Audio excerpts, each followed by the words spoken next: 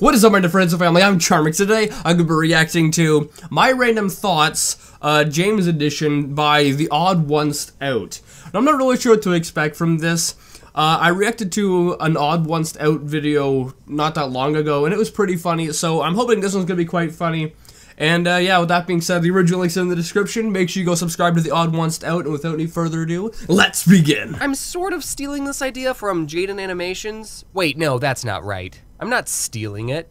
I'm plagiarizing it. Jaiden did a video talking about random thoughts she had, and you should all go watch it. And I thought, hey, I think randomly sometimes. So, Jaiden, is it alright if I make a video about my random thoughts? I hope you say yes because I just did. What is happiness? Well, it's a chemical in your brain. And how do you get that chemical? Well, it's just a little something I like to call drugs. I think humans make fun of hairless animals way too Okay, what? I mean, there are a lot of things that make me happy, and none of them include that. too much. We think that all hairless animals are ugly. Just go to Google Images and type in hairless animal, and you'll probably think the animals you see there are ugly as well. But we all seem to forget that we're hairless animals too. If anything, other animals should think that we're ugly. So I look at this phenomenon and I have a theory. I think we humans find things covered in hair more cute. We're more attracted to things covered in hair. I think I made this point in like the last video I reacted to from the Odd Ones Out. But, you know, people with hair are considered not attractive, but people, you know, without hair are considered more attractive. But, you know, that's reversed when it comes to animals, because animals with more hair and are fluffier, they're adorable. But animals without hair are friggin' terrifying. And that's why I'm a furry. My dad never taught me how to shave, and one time I cut myself shaving right above my lip, and for the rest of the day, all I could smell was blood. I don't know why I mentioned the dad part. You know how websites will ask you to type in a bunch of misshapen letters to make sure you're not a robot? That's called a CAPTCHA. And some of those CAPTCHAs are impossible. Sometimes I look at a CAPTCHA and think, Am I a robot? I just wanted to send some email. I didn't want to question my identity. I wasn't ready for an existential crisis, Club Penguin. Sorry, that joke is dead.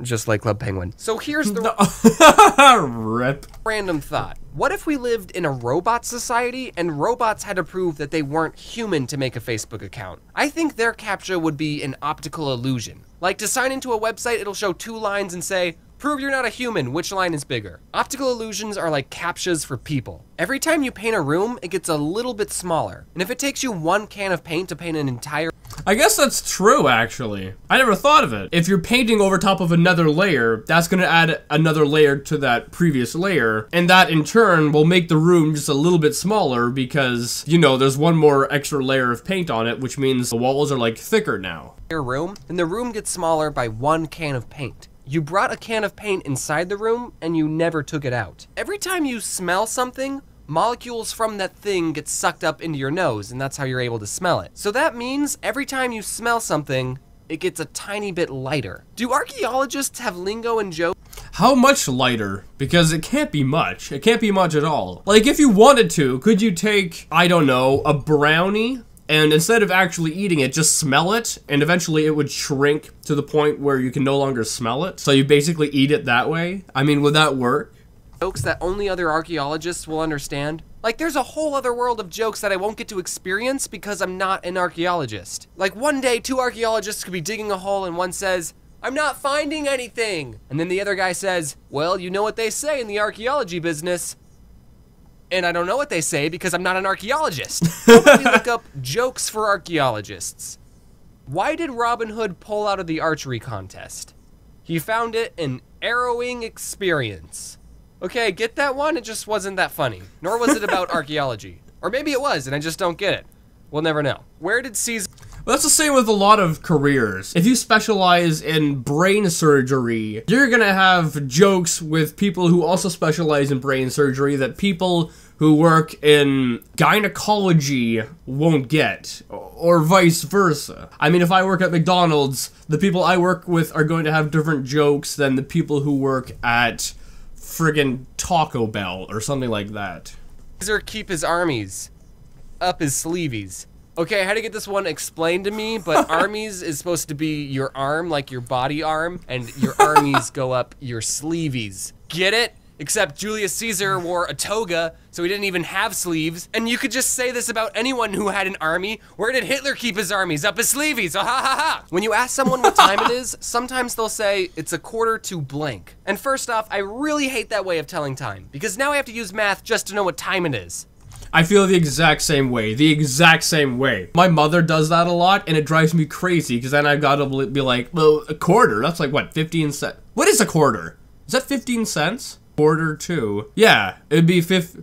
No, no, it's not 15 cents. What am I? Oh, I'm losing my mind. Wait, isn't a quarter 25 cents? I am lost. But no, but if you say a quarter, that's one fourth, which means that it's 15 minutes too. See, this is exactly what I have to deal with. I'm already getting confused. Someone will say, it's a quarter to eight. Okay, so a quarter to eight, well, a quarter is 25, so 8 minus 25, it's like negative 13. Wait, no, we're using time numbers, so a quarter of 60, that's... Exactly. That's this is exactly what just happened to me like 30 seconds ago as I was trying to explain it. It's like 10 minutes, so 8 minus 60 over 4, you carry the 2, and... Oh, it's 8 o'clock now. We usually only say it's a quarter to when referring to whole numbers, but I wish people would use other times, like, hey, what time is it? Oh, it's a quarter to 8.37. Did you know that mosquitoes prefer type O blood more than any other blood type? Does that mean our blood tastes different? How can mosquitoes sense what blood type we are? Do mosquitoes think we come in different flavors? What if there was a Is that is that true that they, you know, go after certain types of blood over other ones? It's Freaking racist. restaurant for mosquitoes and the menus just had our blood types? Are there mosquito snobs? Like one mosquito would say, "Oh, I see you're drinking O negative." Hmm. Of course you'd like that blood. Everyone likes that blood. I got that whole idea from a conversation I had with Jaiden, and I said I was going to use it in my random thoughts video, so I'm just stealing everything from Jaiden. You know what I think would be a funny contradiction? A fedora with a Tumblr logo on it. Whenever you leave for a trip, people will say, drive safe, which is fine. I always appreciate safe driving tips, but when you go flying in an airplane, sometimes people will say, have a safe flight, but I literally have no control if a plane flies safely or not. Why are you telling me to fly safe? I should be the one telling the pilot that. Hey, I just wanted to say that a lot of my friends are counting on you, so you better not screw this up. I appreciate the sentiment, but how do I fly unsafe? That's a good point. That's a really good point. And that's the same with taking a bus. Because you're not in control of the bus. And buses are very unsafe because they don't even have friggin' seatbelts, which I don't understand why they are exempt. I mean, buses get into crashes, and when they get into crashes, you know, there's a higher chance of people not surviving. So yeah, I mean, you can't really control it. Maybe go on my phone before we take off, not watch the safety video, blow the plane up? Why do people care so much about fashion? If I bought some really nice clothes and I go to a party, out of everyone in that room, I'm the only one who can't see what I'm wearing, unless I look down the entire time. I can go to a party and be wearing just a bunch of clown makeup, and as long as there's no mirrors around and everyone plays it cool, I would have no idea that I'm wearing anything. and also, it doesn't matter what I'm wearing because I look good in everything. I think this whole YouTube thing has given me a confidence boost. I wouldn't say it's an unhealthy amount, but it's given me confidence that I didn't have in high school. My parents bought me a Pokemon shirt for Christmas, and yeah, I like Pokemon, but I don't want the whole world to know that. And in high school, I wouldn't have worn any remotely geeky shirt. But now I can go outside and not even realize that I'm wearing my Pokemon shirt. And I don't know if that's related specifically to high school or just being done school. Because in high school, there are a lot of societal, like, um, expectations that, you know, you're expected to abide by. But when you finish high school, and you're just within your little group of friends, if you manage to keep them, then it doesn't really matter what you dress like or how you act because you don't have a lot of like people around you who have certain expectations of you. Sure, I mean, in society you will have them nonetheless, but there are a lot less than when it comes to high school. When you're put into the real world, things change and you can dress basically however you want and not that many people are going to care in real life. So there's a huge difference. when I do realize, I usually think, huh, that's embarrassing. Ah, I'm the odd ones out, who cares? When my parents were my age, they already had a child. And here I am, wearing a Pokemon shirt. You know how different states in America will have different names for certain things? Like some states call it pop instead of soda, or how they call it a washroom instead of a bathroom, and apparently in Rhode Island they call a water fountain a bubbler, and everywhere else is just normal. Anyway, once I heard that down south, there's a phrase for when it's raining and the sun is still out. And that phrase is the devil meeting his wife. Oh, What? isn't that so sweet? I've never heard of that before. sweet? That means anyone can find happiness, even the devil. Ah, I love it when we give the devil more innocent and human characteristics. And given how few of times it rains in Arizona, I don't get to use that phrase very often. So already when it's raining, it's like, woo, it's raining, this day is gonna be great. But then when the sun's out, I get to say, look guys, the devil's meeting his wife. Ah, I hope they're happy together. Unfortunately, I can't get over the style of animation that the Odd Ones Out uses. Like, it's so adorable. And it's really simple. It's not like crazy, right? I mean, if you just look at this, it's basically a marshmallow character with some shading. And that's about it. And it looks adorable like this. I misheard what that phrase was when I learned it. It's not the devil meeting his wife, it's actually the devil beating his wife. I What? guess they're not happy together. I was what? Wow, that took a turn. so sad when I learned what it actually was. I don't know who this devil's wife is, but you need to find a new man, dude. And to think, I almost thought of you as an alright guy, Satan. I looked up that saying on Wikipedia, and in Tennessee they say the devil is kissing his wife.